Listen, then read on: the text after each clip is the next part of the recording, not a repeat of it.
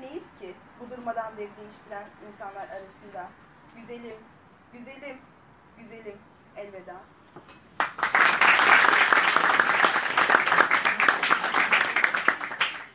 Murat Bahadır Bayrı, 1962'de Manisa'da doğdu. İstanbul Devlet Güzel Sanatlar Akademisi Temel Sanat ve Bilimler bölümünü bitirdi. 1986'da arkadaşlarıyla birlikte şiir atı yayıncılığı kurdu. Şiir atı ortak kitaplarını ve çeşitli şairlerin şiir kitaplarını yayınladı.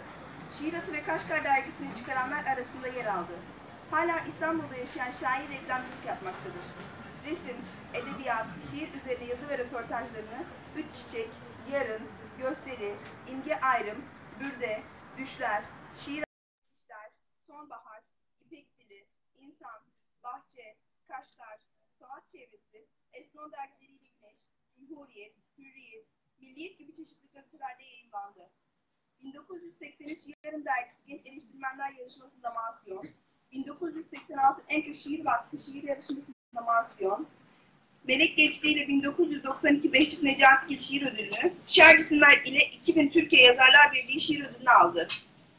Gelenekselci şiir anlayışına uygun eserler verdi.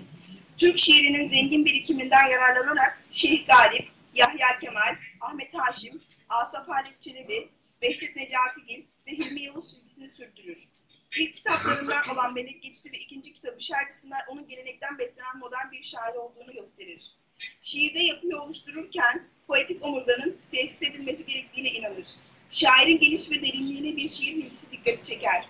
Ayrıca dile hakimiyeti, şiirin estetik işlevi ve dilin anlam üretme, bildirişimi gerçekleştirme mekanizmaları arasındaki ayrımı görebilme yetisi, verili dilden kopmayı göze alma cesareti ve uyanıklığı, özel bir imaj sistemi, ses, anlam ve üslupta örtüşen girift bir doku kurabilme becerisiyle öne çıkar.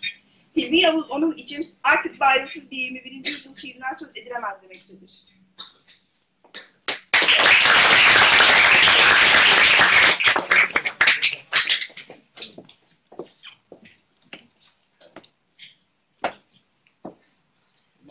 Nasıl devam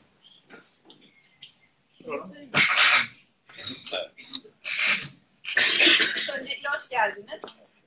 Siz, sizin gibi değerli bir yazarı okulumuzda görmek gurur verici.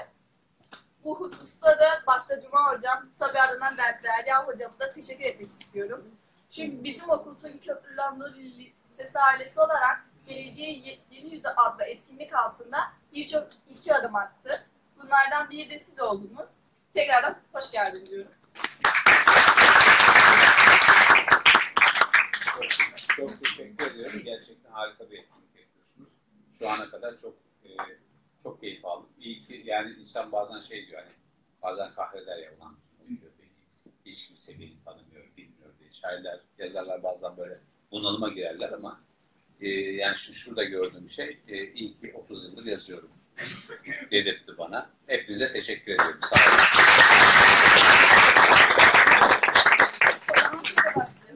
O Cuma Hoca beni çok korkuttu. Dünden beri dedi ki sana bir sorular hazırladılar. bir kazık sorular, bir kazık. Yandın diye. Şimdi bakalım. Şimdi Yani göreceğiz. çok zor. Yani. Böyle bak bu kadar gencin önünde falan. Merak ettiklerimi sorun. Tamam. Şöyle başlayalım. Şiir ile ilişkiniz bu nasıl başladı? Daha doğrusu bizim yaşlarımızdayken şiir ve edebiyat aranız nasıldı? Ee, Sizin yaşlarınızdayken şiir ve edebiyatla aram çok iyiydi. Ee, ben ilkokulu bitirdiğim gün şey karar verdim. Dedim ki ben romancı. Rus klasiklerini okuyordum. Dostoyevski, Tolstoy. O dönemin işte e, Franz Balzac. Yani onlara çok özeniyordum. Ya ben romancı oldum. Bu müthiş bir iş yani. Romancılık. Acayip. O yaz, ilkokulu bitirdiğim yaz. E. İlkokulu bitirdiğim yaz not sarı defter aldım. Başladım ilk romanımı yazmaya. 70-80 sayfalar yaz yazdım ama ya zor da iş ya. Yani yaz yaz bitmiyor. Bir karakter yazıyorsun 30 sayfa. Bir olay yazıyorsun 15 sayfa. Neyse devam ediyorum. Ortaokul 2'ye geldiğim sene o yaz. Ben tabii hiç romancı olmaya yolunda ilerliyorum. Kendimi öyle sayıyorum. Romancı olacağım. O yaz dehşetli bir şekilde aşık oldum. Allah'ım nasıl ölüyorum. Yani şiir yazmaya başladım. Şiir diye bir şey var biliyorum. Ama yani kızları şiir yazar abi. Şimdi roman yaz sayfa sayfa okuyacak. Yani şimdi böyle bütün şairlerin aşk şiirlerini okuyorum. Onlardan böyle süzgün gözlerle bakıyorum. Kenardan. Böyle o zaman tabii şey nereden e, şimdi sosyal medyanın hiçbir şeyi yok. Ancak masa üstüne bir şey yazabiliyorsunuz. Daha da bir şey yazıyorsunuz. Daha da korkuyorsunuz da bir yandan. Vallahi işte o 1962 doğumluyum. Ben 75-76 yazı benim çılgınlar gibi aşık olduğum ve şair olduğum bir yaz. Yani o zamandan beri bir illet olarak başımıza geldi. Hala dönemedik yani. Hala da, hala da yazıyoruz yani. yani. aynen. Yani aşk halinin biraz şairlik haliyle bazen e, öyle şeyleri var ama iyi bir şeyler. Yani henüz ergenlikle şairlik bana aynı anda geldiler. Ve bir daha da. İkisi de bende duruyor. Hala duruyorsa iyi bir şey bu. Valla bilmiyorum. Bazen kızıyorlar çok ne ergen adamsın, koca adam olmuşlar. Birisi güldü gördüğünüz şey. Bildiğiniz üzere birçok eseriniz var. İlk şiiriniz ne zaman ve hangi dergide y- yayınlandı? Peki nereye hissettiniz? İlk şiirim 83 yılında. Aslında önce yazım yayınlandı. Ben 82 yılında Yarın Dergisi bir eleştiri yarışması açmıştı. Ben de Güzel Sanatlar Akademisi'nde okuyorum. Sanat tarihi, sanat eleştirisi. Ve bizim derslerimizden bir tanesi. Orada yöntemler öğreniyoruz. Bedrettin Cömert'in de eleştiriye 5 kala diye bir kitabı çıkmıştı. Çok güzel bir kitap. Harika bir kitap. Ondan çok etkilenmiştim. O sırada bir yarışma açıldı. Ahmet Erhan'ın ilk kitabı çıkmıştı. Şahane bir kitap. Alacakaranlık'taki ülke diye. Harika bir kitaptır. Çok etkilendim o kitaptan. O, kitap hakkında bir eleştiri yazdım. Bir tanıtım eleştirisi. Yarışmaya yolladım. Yarın dergisinden. Yarışmada bana mansiyon verdiler. Ve büyük birincilik, ikincilik, üçüncülük ödül vermediler. Mansiyon verdiler. O kazandığım ilk ödül oldu. O teşvik etti. Sonra e, 83 yılında 80'li yıllar şiirinin önemli dergilerinden bir tanesi. Çiçek yayınları vardı. Çiçek yayınları. Orada bana bir dosya yaptılar. Böyle 4-5 şiirimi ve beni tanıtan da bir yazıyla birlikte fotoğrafını falan koyarak dediler sayıda size genç bir şairi tanıtıyoruz falan diye. 4-5 şiirim yayınlandı. E, tabii küçük bir bomba düştü İstanbul'daki şair camiasında. Çünkü çok az dergi böyle genç bir şairin arkasında durarak, şiirlerini tanıtarak e, onu lanse eder. Bu olunca tabii e, işte, üç kişi sevmiyorsa beni, 330 kişi sevmemeye başladı. Yani bizim işimizde kıskançlık da vardı, yapacak bir şey yok. O zamandan, yani o kadar işte 20 yaşındaydım, ya da 21 yaşındaydım. 20 yaşıma yeni basmıştım. E, 21 yaşından beri şeyle mücadele etmeyi öğreniyorsunuz. Yani bu işin doğasında kıskançlık da var, bu da olacak. Yapacak bir şey yok. Gelin çiçeği gördüm, gelin. Şöyle öğretin. Arkadaşına tanıtın. Bizi sen oldu. Ee, yani kabaca 21 yaşında ilk şiirlerim yayınlandı. Ee, ve dediğim gibi e, biraz böyle hani o dönemin e, dönemsel olarak genç ve etkili bir dergisinde yayınlanınca bayağı da ses geliyor. Olsaydı. Vallahi böyle çok havalı böyle böyle yürümeye Şair oldum yani. Yani bazen öyle oluyor işte insan kendini seviyor.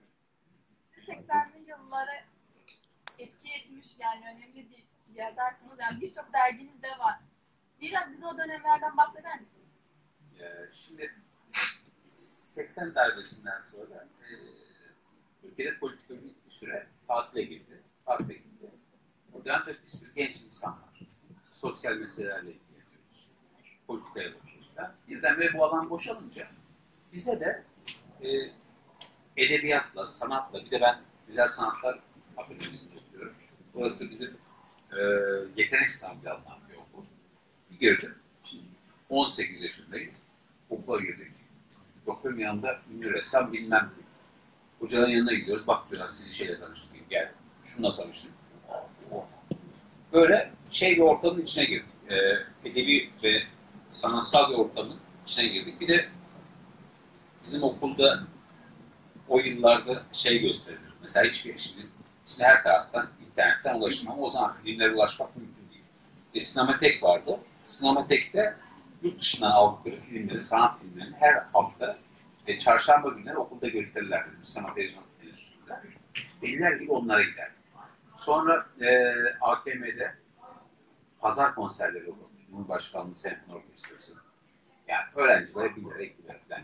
Çok küçük paraya yani. Hiç onları kaçırmaz. Çünkü biz de ben de sonuçta Manisa'da olmuştum ve küçük bir şehirden büyük bir şehrin imkanlarını görüyorum. Hayatımda ilk defa opera seyretme şansına sahibim.